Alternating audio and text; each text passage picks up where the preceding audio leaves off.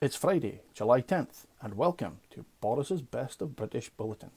Boris Johnson nominated Chris Grayling to chair the Intelligence Committee. Yes, that Chris Grayling.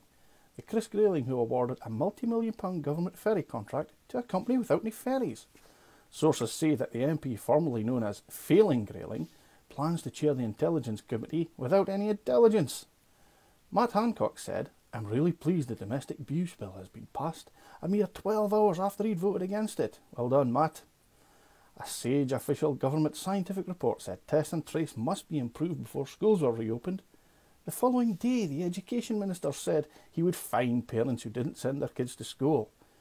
Just in case you are wondering, test and trace still isn't working. Senior police officers warned government lifting the lockdown was total madness. The chairman of the Police Federation said it's crystal clear that drunk people won't socially distance. The Texas Medical Association published a table of the 47 COVID riskiest activities. The most high risk was going to a bar. So our government tweeted, grab a drink, raise a glass, the pubs are opening. On the day, figures showed we had the third highest confirmed death toll in the world. Within days, three of those newly reopened bars had to shut their doors as some thirsty punters who were asymptomatic COVID carriers became symptomatic, got tested, come back positive. Boris Johnson said anyone who flouts COVID rules isn't just putting us all at risk, they're letting us all down. And then Boris Johnson's own father broke the rules to go to his villa in Greece. But since then, Boris Johnson has been strangely silent on the issue. And I'm sure I don't need to mention Dominic Cummings. But it's okay. Mark Francois mentioned Dominic Cummings for us all, warning an army general that Cummings is coming down to sort you out. Now, as you know, Cummings is highly trained in, well, I'm not sure exactly. But army generals are generally highly trained in, well, killing people. So I'm sure the general is shitting himself. Will it be on pay per view? Yes, we're talking about that Cummings, the Dominic Cummings, who was an unelected bureaucrat and ran a campaign against unelected bureaucrats.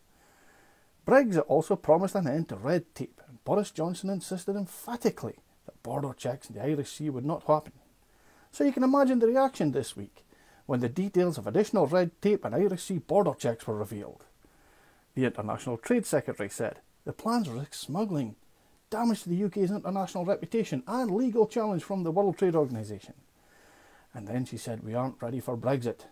So the government let the deadline for extending Brexit quietly slipped past. Boris Johnson denied we were heading for a no deal, but said we would have an Australia type deal. The EU coughed and said, We do not have a deal with Australia. So that's a no deal then, Boris. Was that an oven ready no deal? ONS figures showed no deal will cut the UK economy by 9.3%. That's on top of the predicted 14% slump caused by COVID 19. To save money, our canny government announced it would stop free parking for NHS staff, which annoyed NHS staff and saved almost nothing. Hours later, the government unannounced that particular idea and denied it had ever said it. How reassuringly competent. With more reassuring competence, the government announced a new policy of sanctions against regimes engaged in human rights violations. Literally, the following day, the government announced it would resume arms sales to Saudi Arabia despite acknowledging Saudi war crimes in the Yemen. But at least they were on the ball about PPE. We need all that you know to stay alive. Except the government is facing a string of legal challenges about why it awarded multi million pound PPE contracts to, let's say, strange choices, which I'll discuss now. A £108 million contract awarded to a sweetie wholesaler with no experience of PPE and total assets of about £18,000, about price of a mid-range Ford Fiesta. An £18 million contract for PP awarded to an employment agency with total assets of £332. No, that's not a typo. A company worth £332 got £18 million. A £250 million contract to a London-based family office involved in offshore property and currency trading, which shares an advisor with Tory Minister Liz Truss and in every case, no transparent bidding process. It's enough to make you chew your own foot off.